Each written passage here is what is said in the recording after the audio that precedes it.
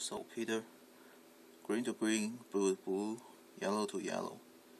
And those are five wires connected like that. Okay. And this is another wire.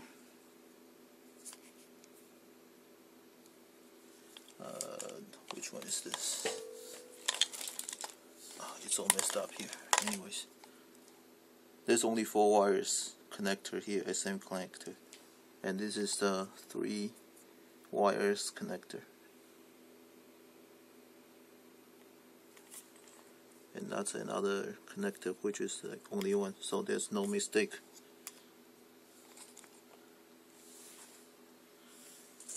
Okay, now I power up with the two LiPo batteries, which is the 22.2 for each.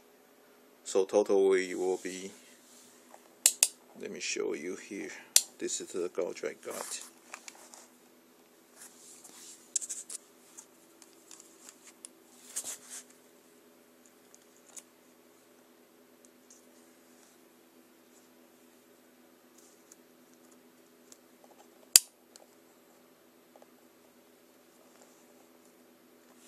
So I got the reading like 49. That's a fully charged, so it's a little bit over 48. Now I connect to the the controller.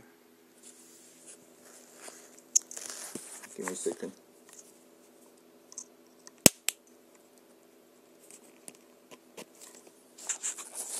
Okay, now I just get it connected to a library, to a battery, and this is the reading.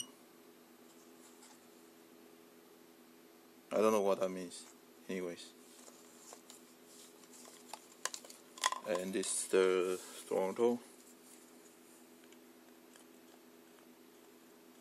It's not moving. I don't know why. Maybe somewhere is incorrect.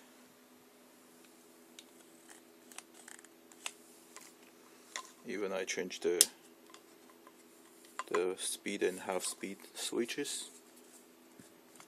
Still not moving.